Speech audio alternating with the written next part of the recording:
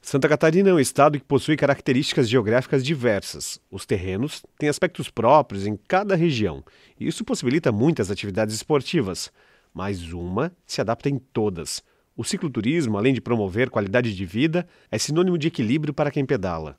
De norte a sul, leste a oeste, grupos se reúnem e buscam terrenos longe dos grandes centros para promover pedaladas em meio a cenários exuberantes a atividade se tornou tão comum que uma lei estadual institui a política de incentivo ao cicloturismo em Santa Catarina.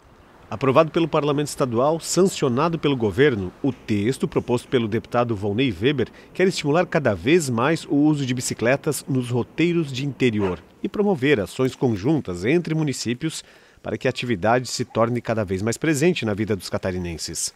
A legislação fomenta que municípios abracem a causa disponibilizem sinalizações e rotas a serem percorridas.